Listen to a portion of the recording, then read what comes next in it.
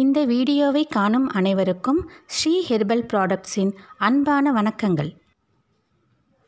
இன்றைக்கி நம்ம பார்க்க போகிறது ஹெர்பல் ஹேர் வாஷ் பவுடர் மற்றும் ஹெர்பல் ஹேர் பேக்.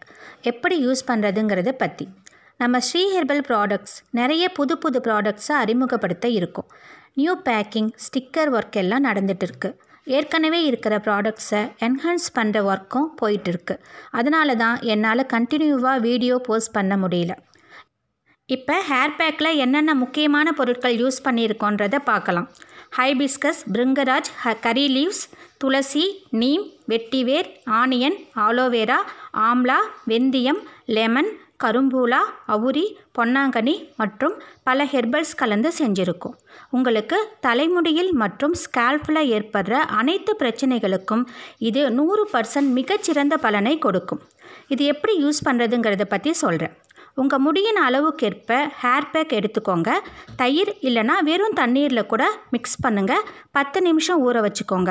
அப்புறம் உங்கள் ஸ்கால்ஃப் மற்றும் முடியில எல்லாம் அப்ளை பண்ணி பதினஞ்சு நிமிஷம் ஊற விட்டுட்டு உங்கள் முடியை வார்ம் வாட்டரில் வாஷ் பண்ணுங்கள் next herbal hair wash powder இதில் நாட்டு சீவக்காய் ரீத்தா பச்சை பயிறு பூலாங்கிழங்கு வெட்டிவேர் வெந்தயம் கடலைப்பருப்பு மற்றும் பல பொருட்களை கலந்து தயாரித்து இருக்கோம் இதுவும் உங்கள் தலைமுடியின் அடர்த்திற்கேற்ப எடுத்து தயிர் இல்லைனா வாட்டரில் பத்து நிமிஷம் ஊற வச்சுட்டு நேரடியாக தலையில் தேய்ச்சி நல்லா ஸ்க்ரப் செஞ்சு வாஷ் பண்ணுங்கள் இந்த ரெண்டு செய்முறையும் செஞ்சு பார்த்துட்டு எப்படி இருந்ததுங்கிறத எனக்கு வாட்ஸ்அப்பில் சொல்லுங்கள் ஏன்னா என் ப்ராடக்ட் பற்றி நான் சொல்கிறத விட யூஸ் பண்ணிவிட்டு நீங்கள் சொல்கிறது தான் என்னோடய ப்ராடக்ட்ஸ்க்கு ப்ரைடு நன்றி.